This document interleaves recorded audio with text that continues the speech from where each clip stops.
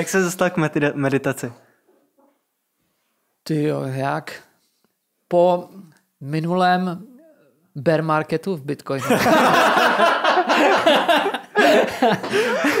Oslý můstek. ne, ale fakt to byla jedna jako ze, ze situací. Jo. No, že... To bylo hodně v prdeli, jakože si potřeboval. No a já nějak- jsem měl tři takové věci, jako, no, které mě jako k tomu eh, do- do to, nebo čtyři, tři, čtyři, které mě nějak jako k tomu nasměrovaly. Hmm. A jedna z toho bylo i to, jako jednak ta volatil obrovská, že jsem jako, ty vole, jako, je to těžké jako na psychiku hmm. tohle zvládat, že jeden den máš eh, milion dolarů fiktivních peněz ne, nevybraných a, a prostě o tři měsíce pak máš milion korun z toho, jo. Hmm. Takže to, něco takového jsem zažil, jako, takže prostě to bylo jako fakt jako hodně na, na, na bednu.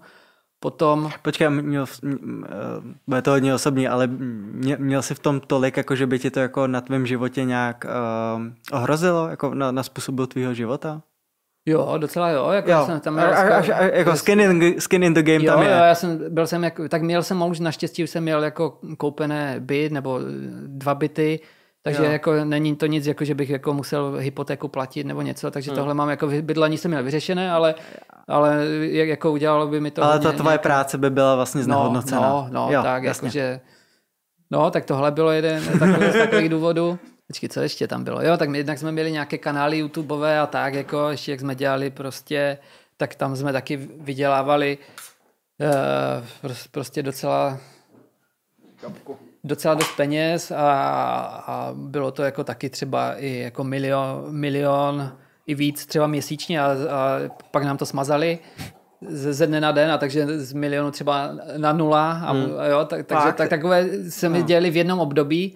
Pak jsem měl ještě takový jako biznis s jedním kámošem, jedním z nejlepších kámošů prostě, který, kterém jsme dali společný biznis, neměli jsme smlouvu, ten mi okradl jako o hodně peněz a, a, a prostě vš- porušil všechny naše dohody, protože to byl jako jeden z jako fakt nejlepších kámošů, tak jsem, jsme si napsali jenom do e-mailu nějaké to a všechno to porušil a tam, tam mi přišlo taky jako, že hmm. tak to, to, ten mi podělal dost a tak ty věci se na, nakumulovaly takhle nějak, jako že prostě, že to no. A, Tak to pak jako hrozně dává smysl, že člověk, který mu se přihodí takovýhle věci, pak jako chce být decentralizovaný a, a be, no, no, a, jako že... Najednou to dává celý, pří, jako celý ten příběh najednou zapadne, že jo? A, a navíc a... ještě, ještě, ještě, ještě, a čtvrtá věc byla to, jednak, že jednak jak jsme prostě rostli s těma Viral Brothers, hmm. uh, tak jsme nějak jako, měli, jak jsme začínali, jsme si, jako hodně lidí má tady takovou jako tendenci, že až budeš bohatý a slavný, tak budeš šťastný. A to se nám jako to, ta sláva relativní nějaká jako na tom malém písečku tady, jako že, že nás jako lidi poznávali a tak jako to se dělo. Vydělali jsme taky něco, ale úplně nepřicházelo to štěstí s tím, jo. Hmm. A to bylo další, ještě čtvrtá věc tady tohle, když se, když se to to, když jsem hledal prostě, jako, pak jsem si říkal, no tak to je ty vole, tak ty se jako snažíš a teďka najednou přišlo, když, se nám, když jsme se dostali na nějaké Jasně. situaci, kdy, kdy jsme viděl, když jsem viděl jako nějaké peníze, kdy už to byly jako docela zlomové prachy, pro mě, že ta, a jako ta slava nějaká, by, ale to jsem si říkal, ale ty vole, a to štěstí je kde? Jako, ty, a najednou bylo úplně prázdno, ale naštěstí potom, když to vidím zpětně, tak přišlo tady tohle, že nám ze dne na den skrouhli kanál, ze dne na den mě okradl kámoš prostě, který, kterému jsem byl, jsme byli na Gimplu spolu a hráli hokej spolu od malička a byl jsem mu za, za, za to, za svědka prostě na svatbu a, a podělal mě a tady tyhle, jo, a dokonce, a pak ten Bitcoin jak spadl, tak najednou se mi zase ten život úplně jako převrátil.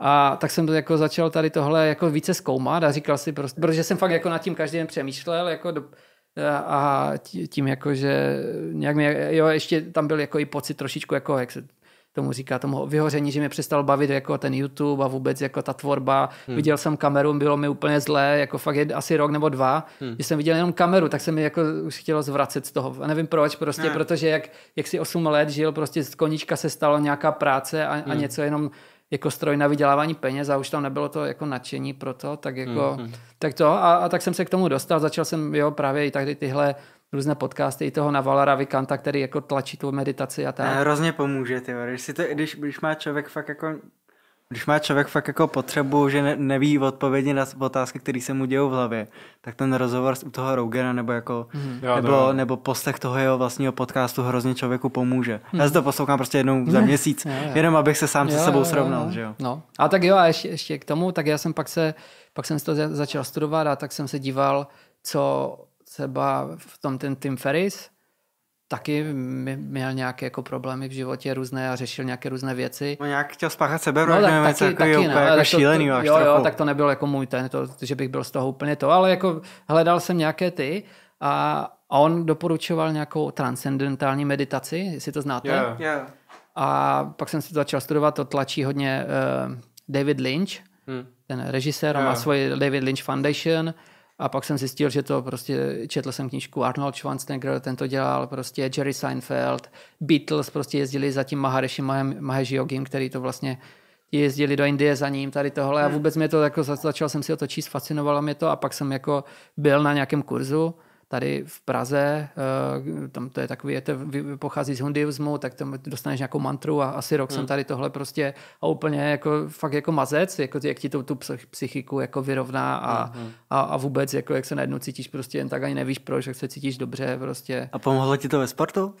Já, já nevím, tak já hraju rekreačně sport, Aha, úplně ne, nemám to, ale pomohl, pomůže ti to úplně ve všem, protože to ani ne, že by se ti nějak jako asi jako zlepšil nějak jako diametrálně život, ale spíš ti ubydou ty negativní věci strašně, jo? že dokážeš nějak reagovat, že víš, že to, co se děje jako venku, mimo tvoji hlavu, tak je, to, to jenom vždycky jenom je tvoje reakce, na, jak na to zareaguješ a, a není to to, že, e, že prostě, že se ti něco děje, to, to, že ti udělá jako špatně, anebo jako, že, se, hmm. že se cítíš blbě, nebo tě nasere. Ne, ty nasereš sám sebe tím, jak reaguješ na tu situaci. No. Hmm. A tady tohle, jak když se začneš to, tak asi rok jsem dělal tohle a pak jsem právě od toho Navala četl a on, on propaguje nebo má svoji a takovou ještě jednodušší věc, že prostě jediné, co ráno udělá, ráno vstane, sedne a na, na postel, takhle hodinu prostě jenom.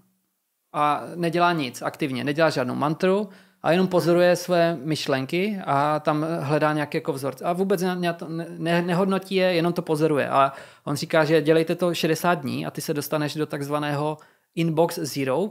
Prvních 60 dní eh, vlastně eh, řešíš věci, které se ti staly v budoucnosti. Co bude prostě za, mm-hmm.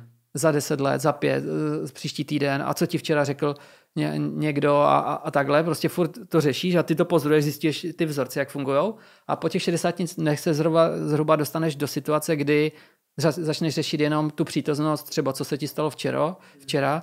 A nemáš, eh, jak kdyby si vyřešil tři tisíce nevyřešených e-mailů, jak kdyby se prostě postupně odklikal, hmm. odpověděl a šup a najednou máš prázdno a najednou řešíš jenom jako uh, to, to sprofanované jako teď a tady a řešíš hmm. jenom prostě, co, co bylo včera nebo dneska bude a neřešíš úplně, co bylo před 20 lety, což spousta lidí řeší, že tenkrát ti někdo řekl a furt si na to třeba jako vzpomínáš a hmm. prožíváš v situaci znova, tak tohle prostě, až se dostaneš takhle a jsi úplně skvělý, skvělý jako schopný a i tím, že to děláš každý den, tak jako si, je to trénink každý den, prostě hodinu žít v přítomnosti. Takže když prostě pak funguješ, tak celý den si jako v té přítomnosti, protože si na to jako navyklý, máš to natrénované a vůbec neřešíš, prostě dokážeš se soustředit na věci, které zrovna děláš. No. To je to, co jsi dělal?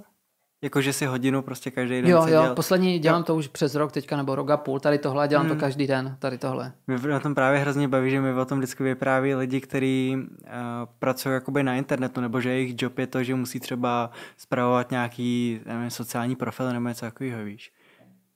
Že, že, že jakoby hodně lidí se zabývá meditací tím, že prostě musí trávit a denně číst prostě titulky zpráv a reagovat na to, co se děje. Mm. Namísto toho, že by mi to řekl třeba kamarád, který pracuje v nějaký fabrice nebo tak. Aha, no. Ne, jakože že, že, že, ta, že ta forma meditace, když se k tomu vrátím, k tomu Navalovi, že on vlastně de facto nemedituje nebo neříká, jako, že máš prostě pozorovat nějak ty, ty své myšlenky a jako třeba nějak odpinkávat, že jenom prostě pozoruješ čistě. Tak a spoustu toho jde prostě třeba nahradit, když jdeš pracovat, já nevím, na zahradu, sekáš trávník nebo, nebo, nebo nějakou fyzickou prací, že? nebo třeba cvičením.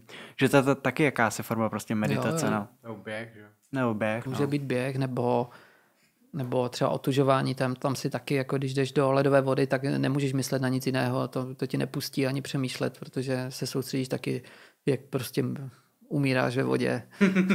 to, je, to je taky jako moje oblíbený, protože tam v tu chvíli, když seš, tak vlastně zjistíš, že čím rychleji jsi schopný si tu hlavu vyčistit v té ledové vodě, tak tím díl v ní vydržíš. Mm, mm. To jsem si jako všiml, když jsem... Mm. Je to tak, je to tak, no. A meditujete nebo takhle? Něco? Jo, ale jo? Mě, já jsem se tě chtěl zeptat, zkoušel jsi někdy meditovat třeba uh, před spaním nebo v noci? Někdy, když nemůžu v noci usnout třeba, nebo se prodím ve tři a nemůžu spát, tak občas jo a pak usnu hned. Uh, když, uh, když teda, já ti jenom poradím, protože já mám jako hodně moje oblíbený téma jsou psychedelika nebo taková meditace, která navazuje nějaký halucinace a podobně. Uh, dobrý hack na tohle, když teda jsi schopný meditovat a umíš se dostat do té fáze, že máš vlastně čistou hlavu a teď ti tam jako nechodí ty myšlenky a jsi, já nevím, já si vždycky přijdu, že jsem v takovém jako takový zvláštní stav a najednou prostě ty tam seš a jsi jako kdybys byl zavřený v kouli nějaký černý, já nevím, jak to mám popsat. Já mám takový pocit z toho. Mm-hmm. A, tak to je skvělý pocit a je super ho mít ráno nebo večer nebo kdykoliv, ale když to uděláš v třeba v ty, ve tři ráno, když se zbudíš, fakt jako, že se zbudíš ve tři, ve čtyři ráno, nemůžeš, nebo něco tě probudí a ty uděláš tuhle tu meditaci, ale řekneš si, řekneš si předtím, než jako začneš meditovat, že neusneš. Řekneš si, že, že chceš v momentu, kdy jakoby budeš usínat, že se chceš jakoby probudit, tak eh, ono, jak to vyplavuje melatonin a melatonin eh, v, v mozku konvertuje do dalších jako látek, které jsou jako na, na bázi tryptaminu a, a v podstatě to je jako DMT nebo prostě nějaký psychedelika, tak uh, se můžeš dostat do stavu, kdy začneš mít nové halucinace, seš na tripu. A ten trip může trvat prostě klidně hodinu, že? když to na těch látkách to trvá 10 minut. Tak uh, to je jenom takový trip, eh, teda tip, když třeba to Aha. můžeš jako, když, když fakt si jako řekneš, a nevím, jak to je možný, ale prostě to, to, to je i jako, když si řekneš, že ráno potřebuješ stát sedm a prostě pak i bez budíku vstaneš sedm, nebo někdo tak má, mě to jako občas stane. A, a když si řekneš prostě neusnu, a, a, nebo když si před spaním večer řekneš, pod, uh, chci se vzbudit ve tři hodiny, mm. tak prostě na, na 100% se vždycky zbudím ve tři mm. hodiny a můžu si dát tuhle tu jako meditaci mm. a je to jako hrozně zábavný. A to si sedáš, nebo ležíš? Ležím. No. Ležím. Ale během třeba, to, to jsem schopný si tam dostat strašně rychle. To, to nemusím dělat hodinu, abych tam mm. dostal jako ráno. Prostě, nebo když to dělám třeba jindy, tak, tak mi to trvá dlouho. Třeba během dne, že jo, třeba jako v jednu nebo tak.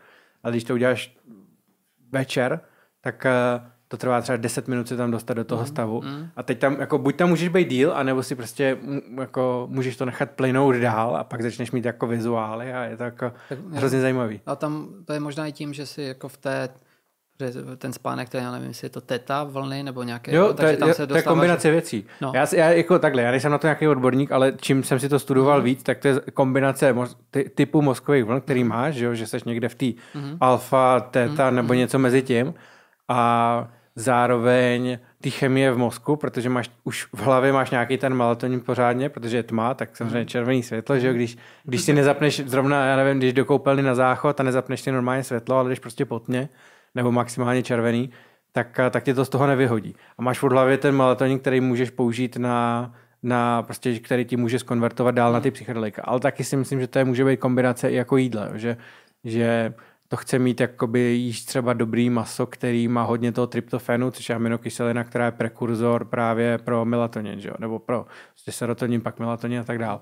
Takže tam jako víc faktorů. Ne, nejsem v tom nějaký expert, jenom jsem za, za posledních pár let objevil, že tohle to mi funguje, mm-hmm. ale hlavně jde o to asi o ten finální zážitek, že si myslím, jako, že je docela zajímavý si to, že je to něco, co by měl možná jako skoro každý jako někdy za život aspoň zažít. Tak... A ono, ono se obecně, myslím, říká, že všechny stavy, co dokážeš vyvolat na drogách, takže ty máš jako receptory na to a dokážeš to udělat i sám. Jako. Jinak by ty drogy no, nefungovaly. No, nefungovaly. Takže no. ty si, ať už pomocí dýchání nebo čehokoliv, si schopný se do těch, do těch stavů dostat. A, a tu třeba i ta meditace, to je prostě takový, já říkám někdy, jako, že že se cítím, protože spoustakrát si dáváš třeba víno někde na party nebo něco, hmm. aby se jako dostal do, uvolnil a tak, jako, no tak pomocí té meditace se dostáváš do toho stavu, že vlastně ani ten alkohol nepotřebuješ, ale prostě je ti furt si uvolněný, nejsi nervózní, ne, ne, nemáš úzkosti, nic, prostě furt si jako úplně v klidu a je ti to a dokážeš takhle jako být 24 eh, hodin denně.